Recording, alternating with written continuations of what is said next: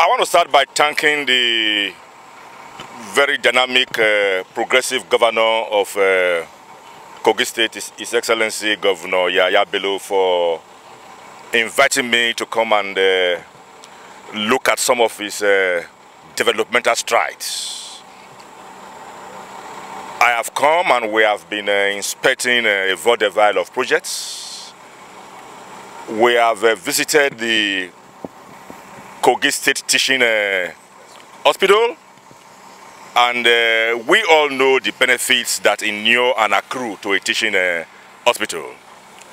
We were briefed that students in that teaching in that teaching hospital in the year 2015 were denied were, were denied the accreditation, and because of that, they were farmed out to various universities.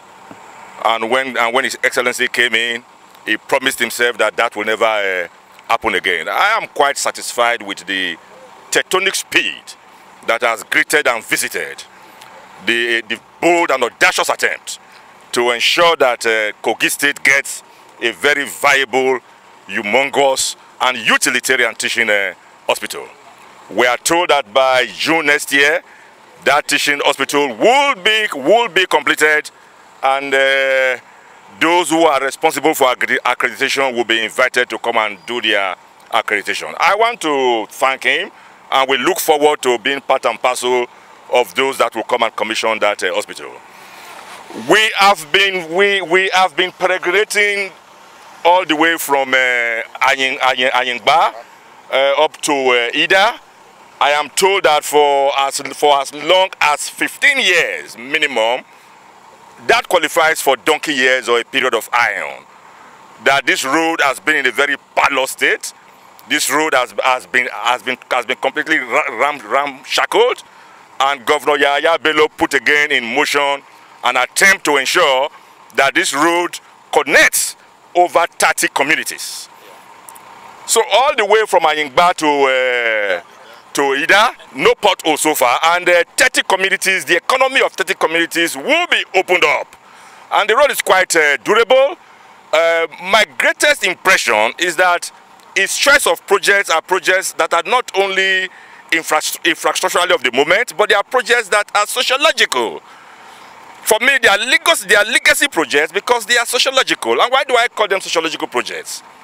I dub them so because they are projects that inure and imparts on the lives and the modus vivendi of the people. It has utilitarian content. So we, we, we commend him, we eulogize him, and uh, may God continue to give him good life and good health to be able to finish these projects. All I can say is that his, his, his, his Excellency has distinguished himself thus far and has proven the point that when you give responsibilities no matter how enormous or humongous or gargantuan they are to, to, to young men, they can uh, deliver. But for, for some of us, and I'm sure too for Governor Yahaya Bello, we are all robots in the hands of God. My, my, my recommendation to people of uh, Igala and particularly to Kogians is to ensure that never again, never again should they suffer any political simki diswaga. Never again should they suffer and tolerate any political joker. So that going forward, there will be a political persona that will consolidate and these humongous achievements. Thanks for checking out SYMFONI on YouTube. Please be sure to subscribe and like our videos for updates.